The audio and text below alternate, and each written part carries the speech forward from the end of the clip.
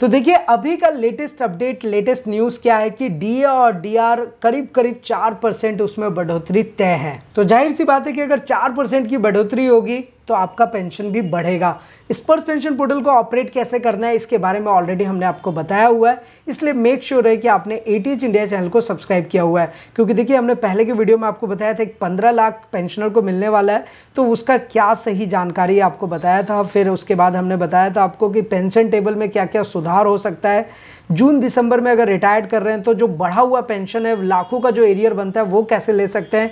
O R में pensioners को कितना फ़ायदा होगा? सिपाही से लेकर सूबेदार मेजर तक को क्या एरियर मिल सकता है, बहुत डिटेल में सही और सटीक जानकारी आप तक पहुंचाते हैं। इसलिए आप मेक श्योर है कि आपने ई इंडिया चैनल को सब्सक्राइब किया हुआ है। चलिए अब आते हैं हम अपने टॉपिक पे, वो है कंज्यूमर प्राइस इंडेक्स से रिलेटेड क्योंकि डी और डीआर बढ़ता है तो कंज्यूमर प्राइस इंडेक्स के अकॉर्डिंग ही। और इसमें ए का एक टेबल आता है, इन सब के बारे में तो ऑलरेडी मैंने आपको बताया ही हुआ है। तो आज हम बात करते हैं कंज्यूमर प्राइस इंडेक्सिंग का, क्योंकि ये जुलाई का लास्ट डेट खत्म हो चुका है।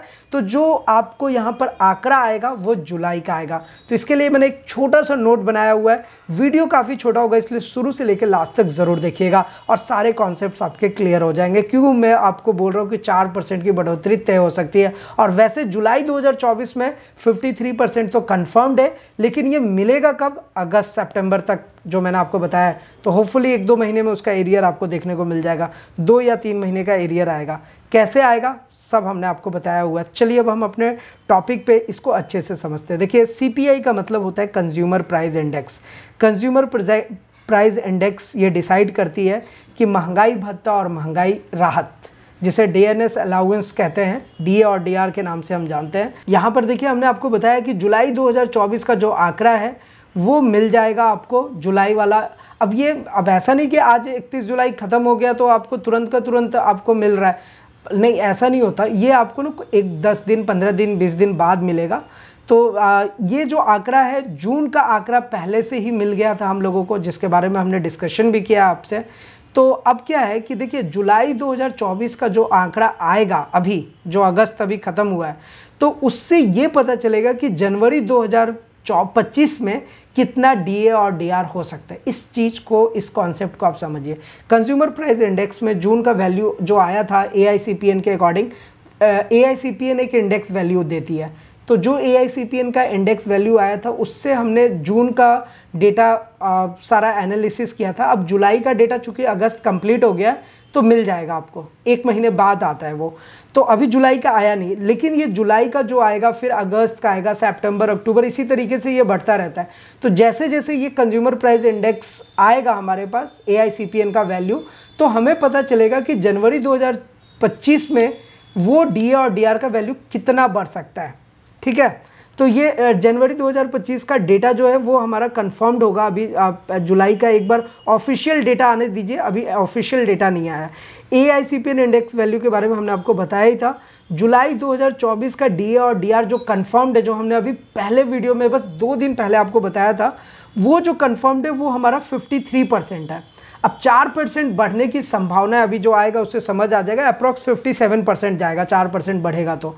ये जुलाई 2024 से जो हम लोगों को मिलने वाला है, वो है 53 परसेंट, जो एकदम कंफर्म्ड है। ये मिलेगा कब? ये भी एक आंकलन, हालाँकि सरकार की तरफ़ से कोई अभी इसके बारे में डिस्कशन नहीं हुआ है, लेकिन सितंबर और अक्टूबर में देखने को मिल जाएगा। तो अब सितंबर स्टार्ट हो गया तो सितंबर में देखने को मिलेगा या फिर अक्टूबर में?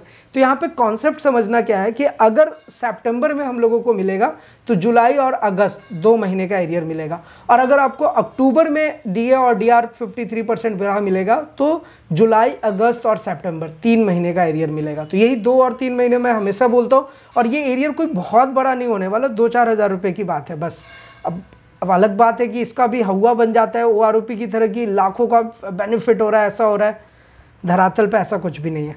तो एनीवे anyway, ये जो दो चार हज़ार का बेनिफिट है डी और डी आर का ये आपको सितंबर अक्टूबर में देखने को मिल जाएगा जो 53 परसेंट कन्फर्म्ड है जो अभी की मैं बात करूँ कि जो अभी कंज्यूमर प्राइस इंडेक्स आएगा इससे हम आंकलन करेंगे जनवरी 2025 का कि उसमें क्या हो सकता है। वैसे चार परसेंट बढ़ने की संभावना है। अब जनवरी 2025 में जुलाई से जितने भी शुरू होंगे ना, जो भी वैल्यू आएगा A I C P N index का, वो अब जनवरी 2025 से लागू होगा। जुलाई 2024 वाला तो जो है, वो लागू हो चुका है। मिला नहीं है अभी। मिलेगा कब? इसी एक महीने में सितंबर या फिर अक्टूबर में जो हमने एनालिसिस किया हुआ है। तो यही था कंज्यूमर प्राइस इंडेक्स से रिलेटेड इन्फॉर्मेशन आई होप आपको पसंद ज़रूर आया होगा, लेकिन फिर भी अगर आपके मन में कोई सवाल है, किसी भी टाइप का क्वेश्चन है क्वेरीज है, आपको पता है, नीचे कमेंट करके पूछ सकते हैं। कोई एडवाइस या सुझाव देना चाहते हैं, वो भी आप हमारे साथ ज़रूर शेयर कीजिएगा। एक सिंपल सी बात यह है कि जब भी भी महँगाई भत्ता और महँगाई रहा डीए और डी जिसे हम जानते हैं, अगर वो कभी भी बढ़ेगा तो पेंशन ज़ाहिर सी बात है, इसलिए बोला जाता है, बढ़ेगा क्योंकि वो बढ़ रहा है तो आपका वहाँ पे वो बेसिक पेंशन से कैलकुलेट होता है। दैट इज़ द रीज़न कि वो आपको वहाँ पर बढ़ा हुआ दिखेगा। Anyway Sparsh pension portal को अगर ऑपरेट करना है तो हमने आपको बताया हुआ है कि बिना लॉगिन किए हुए आप स्पर्स पेंशन पोर्टल में अपना माइग्रेशन स्टेटस देख सकते हैं, क्योंकि आज के डेट में भी टेन टू फाइव परसेंट ऐसे पेंशनर्स हैं जिनका डेटा स्पर्स में माइग्रेटेड नहीं हुआ है। तो स्पर्स में डेटा माइग्रेट आपका हुआ है या नहीं हुआ है, उसको चेक करने के लिए बिना लॉगिन किए हुए आप स्पर्स पेंशन पोर्टल को इस तरीके से ओपन कर सकते हैं।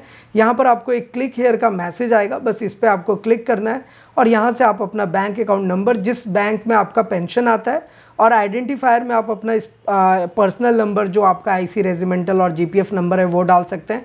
कैप्चा कोड आपको देना है उसके बाद सर्च बटन पे क्लिक करेंगे तो आपको सारा डिटेल्स आ जाएगा कि लाइक आपका कब माइग्रेशन हुआ है या नहीं हुआ है लाइफ सर्टिफिकेट का क्या स्टेटस है, वो सबमिट हुआ है या नहीं हुआ, और जीवन प्रमाण पत्र भरना कैसे है, वो अपने मोबाइल फ़ोन से आप बहुत आसान तरीके से भर सकते हैं। इसके बारे में भी हमने ऑलरेडी आपको बताया हुआ है। तो फ़िलहाल आज की इस वीडियो में इतना ही, फिर मिलते हैं किसी नेक्स्ट इंटरेस्टिंग वीडियो में। तब तक के लिए इस्लाम दुआरकम प्रदाम शस्त्रियागाल कीप वॉचिंग कीप स्माइलिंग अपना और अपने साथ सबका ख्याल रखें। जय हिंद, वंदे मातरम।